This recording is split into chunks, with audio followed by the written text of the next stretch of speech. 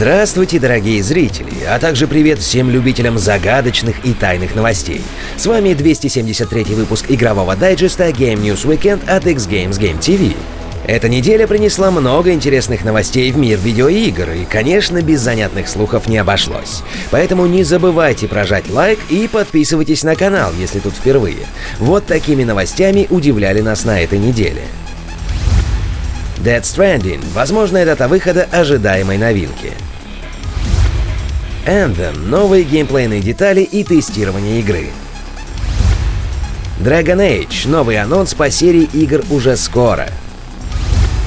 Почему CD Projekt верит в успех Cyberpunk 2077 во всем мире? Fallout 76, очередной скандал с игрой и многое другое.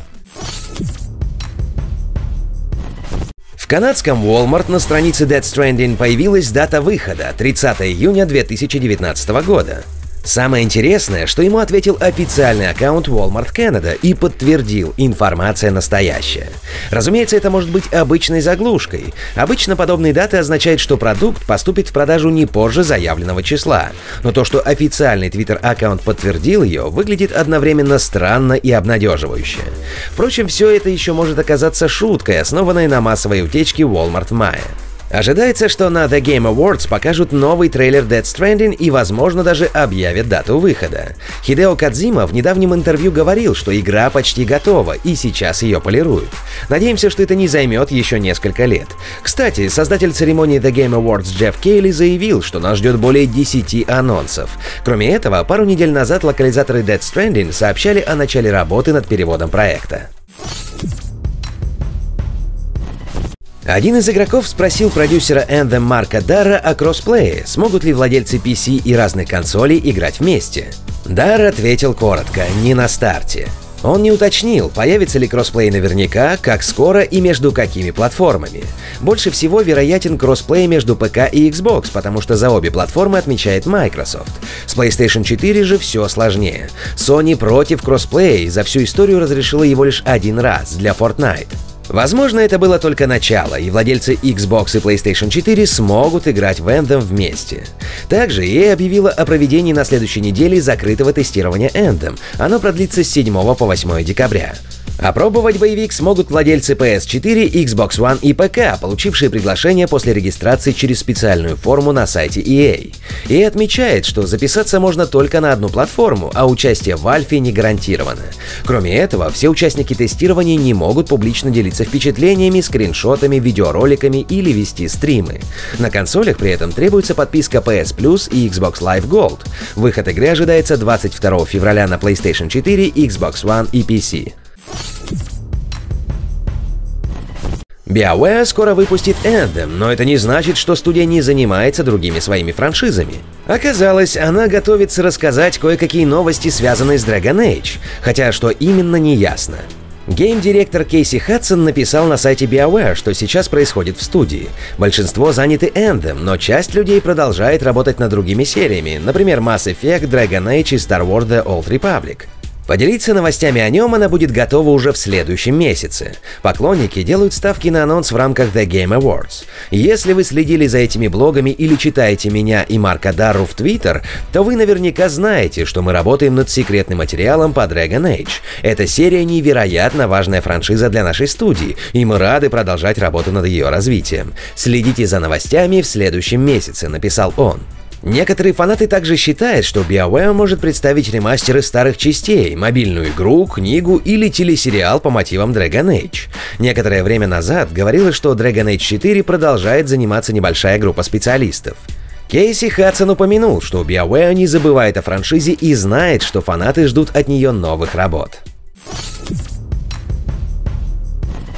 Сейчас самые разные японские игры отлично продаются в США и Европе, а западные продукты становятся все популярнее в Японии. Но в истории случалось разное, и были периоды, когда какие-то западные хиты не могли добиться успеха в Японии, и наоборот. Эта тема была поднята журналистами Фамицу в беседе с генеральным директором CD Projekt Марчином Ивинским. На вопрос о том, влияет ли место расположения разработчиков на возможность достучаться до геймеров со всего мира, Ивинский отметил, что главное — это качество. Если игра отличная, она везде может стать успешной, вне зависимости от того, в какой стране базируются ее авторы. Ивинский отметил, что у него есть основания так полагать, опираясь на успех фэнтезийной ролевой игры The Witcher 3 Wild Hunt на территории Японии. Для него это также является доказательством того, что качество продукта CD Projekt Red отвечает мировому уровню. Сейчас CD Projekt работает над Cyberpunk 2077. Покупателям лимитированного издания Fallout 76 за 200 долларов пообещали холщовую сумку, шлем из комплекта силовой брони Т-51Б, эксклюзивный стальной кейс, набор коллекционных фигурок Fallout, светящуюся в темноте карту игрового мира, а также код на загружаемые объекты из издания. Тираж разобрали очень быстро, но отзывы от первых покупателей оказались негативными. Пользователи обнаружили, что Bethesda без предварительного уведомления положила в комплект не холщовую сумку, а более дешевый вариант из нейлона, в результате скандал. Игроки обвиняют Bethesda в недобросовестном отношении к покупателям и лживой рекламе. Служба поддержки отвечает, что изменить ничего не может. Сумку сделали из нейлона, поскольку холщовый вариант оказался слишком дорогим. Почему покупатели не предупредили об этом заранее, не уточняется. Bethesda извинилась перед покупателями лимитированного издания за сумку и предложила компенсацию в виде 500 атомов, внутриигровая валюта Fallout 76, эквивалент 5 долларам, что звучит смехотворно. Также в данный момент на Bethesda готовят коллективный иск в суд в связи с невозможностью сделать возврат потраченных средств до Fallout 76. Ну а почему вы поставили игре 4 балла из 10, можете узнать из нашего обзора. Коротко о главном. Студия Obsidian Entertainment анонсирует новую ролевую игру на церемонии The Game Awards. Разрабатывается проект на Unreal Engine 4. Новую игру будет издавать не Microsoft, которая купила студию лишь недавно, а Private Division, работающая со сторонними разработчиками издательский лейбл компании Take-Two. Игра на Private Division создается под руководством авторов оригинального Fallout Тима Кейни и Леонарда Боярского.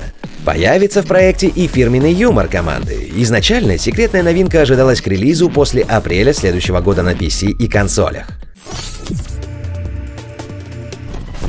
В начале ноября в сети появились слухи о том, что в рамках грядущего мероприятия The Game Awards состоится анонс новой видеоигры, охватывающей любимую многими поклонниками фантастики вселенную Чужой. Намеком на это послужил тизер, опубликованный Джеффом Кейли.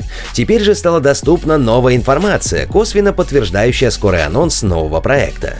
Компания 20 век Fox зарегистрировала новую торговую марку. Тайтл получил название Alien Blackout, а самым показательным является то, что он относится к категории видеоигра. Судя по всему, официальный анонс действительно уже не за горами. Появилась информация об игре Superman World's Finest, а разработчиком числится Rocksteady. Это студия, создавшая серию Batman Arkham, про которую давно ходят слухи, что она работает над игрой про Супермена.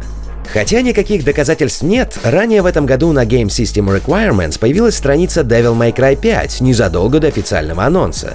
Так что есть повод думать, что новая Супермен может оказаться настоящей. Еще в июне Rocksteady заверила фанатов, что команда работает над новой игрой. Недавно Данкан Джонс, известный режиссер, в том числе снявший Warcraft, киноадаптацию знаменитой World of Warcraft, имел удовольствие пообщаться с Кори Барлогом о своем будущем проекте. Однако, судя по всему, креативный директор студии Sony Santa Monica тоже поделился некоторыми подробностями о будущем тайтле компании. В посте нам говорится, что все те, кто считал Action God of War самым амбициозным проектом Кори, глубоко заблуждаются. Им просто необходимо набраться терпения. Таким образом, он официально подтвердил, что Барлок работает над новым проектом. Сама студия Sony Santa Monica на данный момент не делала каких-либо анонсов.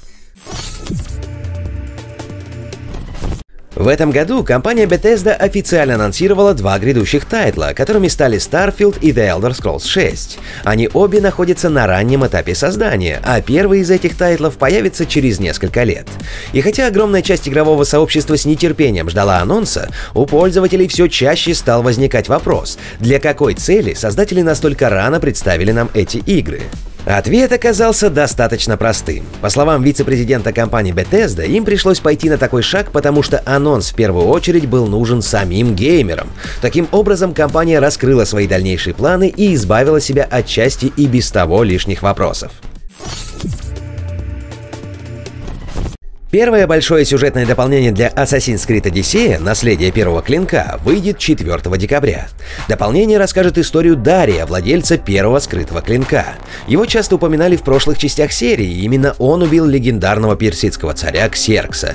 Большое внимание уделяется ролевым элементам, так что выбор, который игрок будет делать по ходу прохождения, по-прежнему будет играть важную роль, как и отношения, которые герой выстраивает с другими ключевыми персонажами.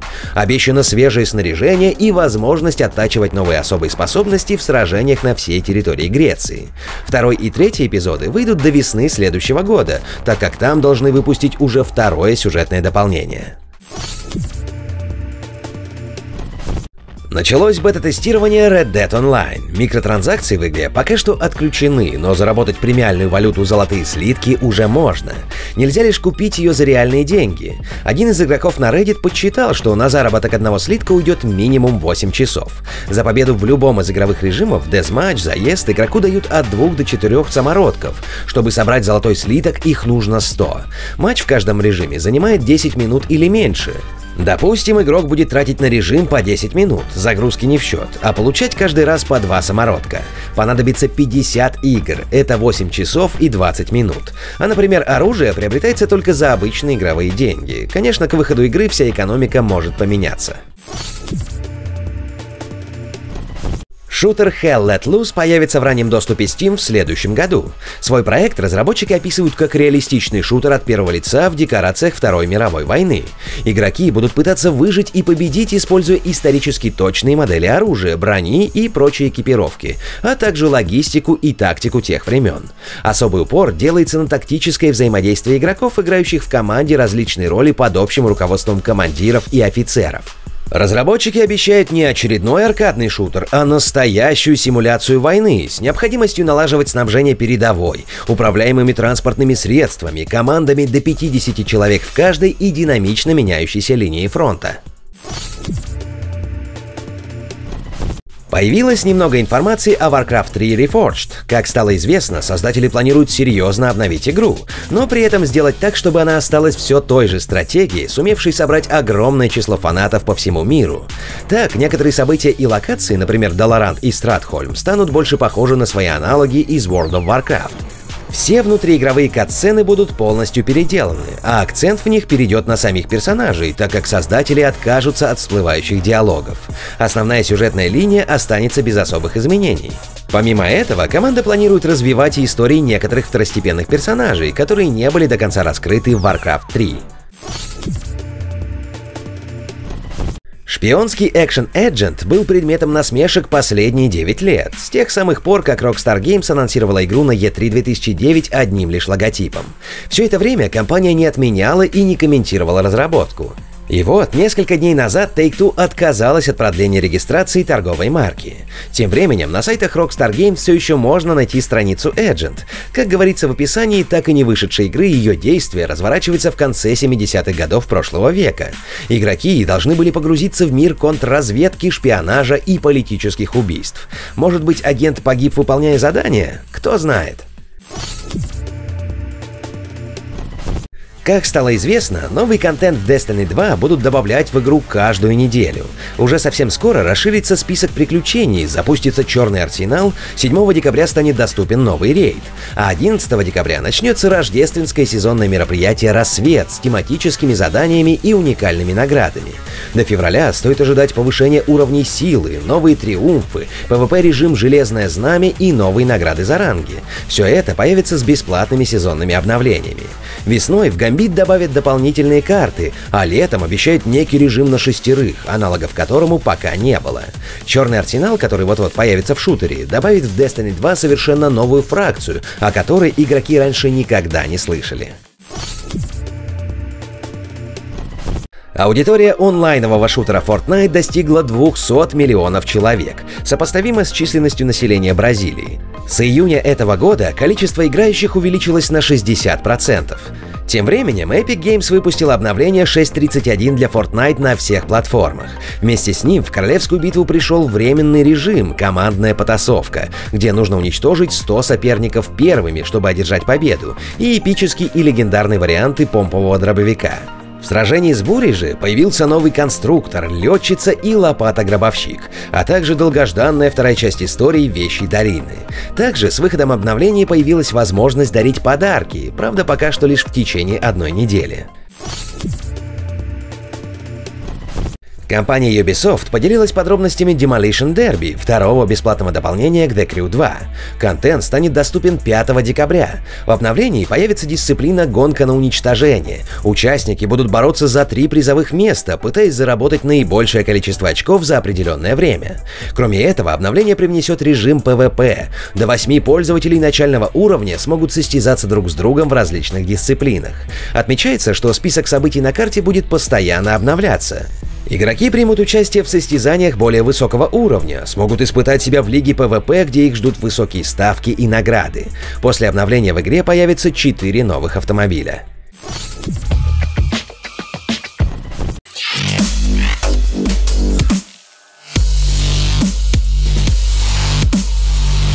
И на этом 273 выпуск игрового дайджеста Game News Weekend подходит к завершению. Но вот держите еще одну интересную новость. PlayStation 4 исполнилось 5 лет. Sony в честь этого выпустила интересную статистику с достижениями игроков. За 5 лет игроки убили 46 миллионов громозевов Horizon Zero Dawn, провели 1,7 миллиона часов в Wipeout Omega Collection, обогнули земной шар более 260 тысяч раз в Gran Turismo Sport, 630 тысяч игроков заработали платину в Bloodborne и многое другое. А еще за это время было продано более 82,2 миллиона копий консоли. Это больше, чем у PS3 за 7 лет. Sony ожидает, что в следующем году количество проданных PlayStation 4 за все время перевалит за 100 миллионов. И на этой крайне юбилейной ноте у нас все. Присоединяйтесь к обсуждению новостей из выпуска в комментариях. Также не забывайте подписаться на наш канал, жмите на лайк и колокольчик. До встречи на X Games Game TV. Смотрите и играйте вместе с нами.